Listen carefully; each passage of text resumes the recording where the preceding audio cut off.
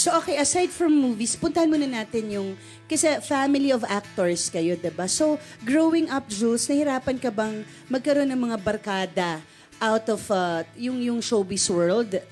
Ah, no naman, tita, kasi nag-normal schooling ako eh. And that was one of the reasons why I chose to stop na mga from 11 to 15 because gusto kong magkaroon ng normal life in school, normal friends, and yun, nagkaroon naman ako until high school, until matapos ako ng high school. So, nakikita mo pa rin ba sila hanggang ngayon? Nagkikita pa rin, tita. It's very important siguro na makasama pa rin yung mga taong nakakasama mo before all of this. Kasi it's humbling. They bring you back to the ground. And pinapaalala ko kung sino ka before all of this. Okay. So, ang isang Julia Barreto ba, paano ba siya makipag-reach out or makipag-usap para makahanap ng bagong kaibigan? I think finding a friend should come naturally. Hindi ata dapat yun pinipilit. And um, blessing din yun eh. Kasi hindi naman everyday nakaka hanap ka ng friend na swak kayo, na accept yung isa't isa. And ako, tita, ang dami kong times minsan may nakakausap ako. First time pa lang, alam ko na. Alam na, Ah, alam ko na magkiklik na. kayo. Magkiklik kami. And magiging, gusto ko siyang friend ng matagalan. Ayan. Paano naman sa mga kaibigan mo sa trabaho, paano mo na-maintain yung friendship mo sa kanila?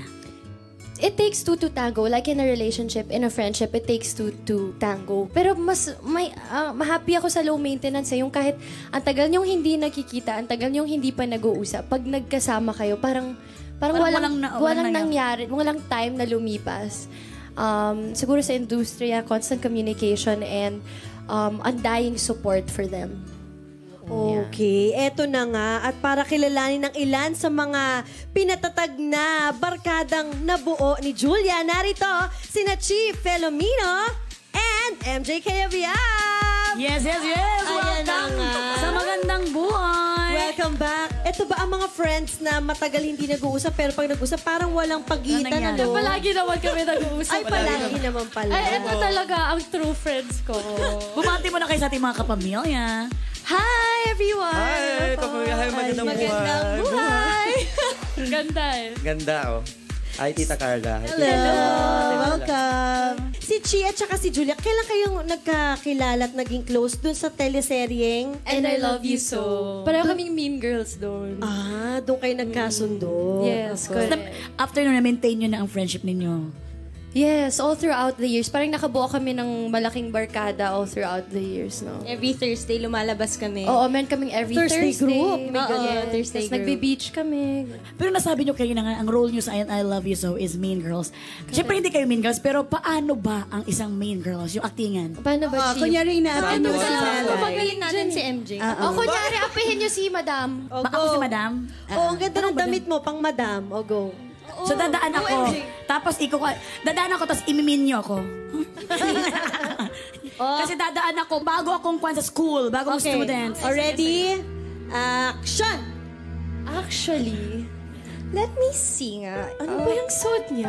Alright. Bakit? Where'd you buy that? Pa, you know what? Yung, Oh my God!